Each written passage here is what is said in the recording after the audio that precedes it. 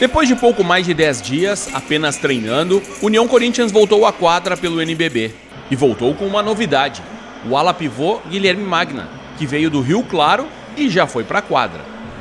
O jogo foi contra um adversário poderoso, o São Paulo, time que chegou a Santa Cruz do Sul com um retrospecto de cinco vitórias consecutivas e com nomes de peso no elenco, como Marquinhos, Caboclo, os americanos Chamel, Tirone, Bennett e o armador Elinho.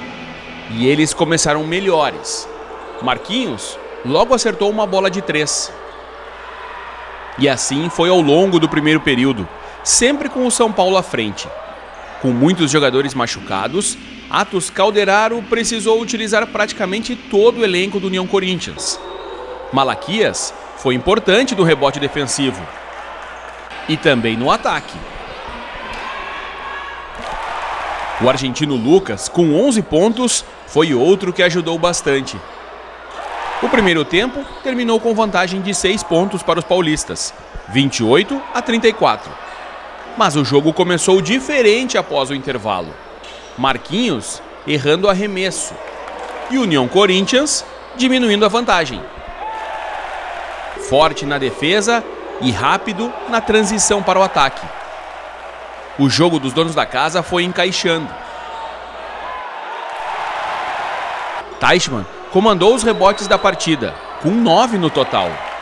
Nesta bola de três pontos, Caferata, outro destaque do União Corinthians, com 12 pontos e seis rebotes, deixou tudo igual em 64 a 64.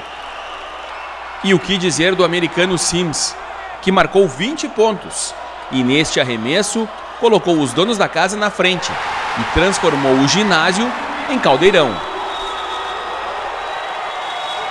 E ele mesmo, a segundos do fim, sofreu uma falta e já sabia que a vitória estava garantida.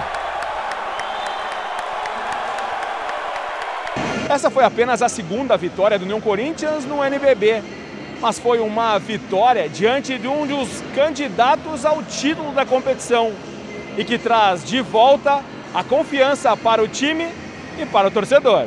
Sabia que não ia ser fácil, é, é uma vitória importante para nós, é, como falamos, a gente está trabalhando muito, a está fazendo um grande trabalho, todos nós trabalhando muito, porque, lógico, é uma competência diferente, mas, bom, a gente está muito feliz de representar a cidade e hoje uma vitória que, bom, dá muita moral para a gente. É, é uma vitória para lavar a alma, porque vem coroando aquilo que a gente está falando. Nós começamos tarde e estamos progredindo.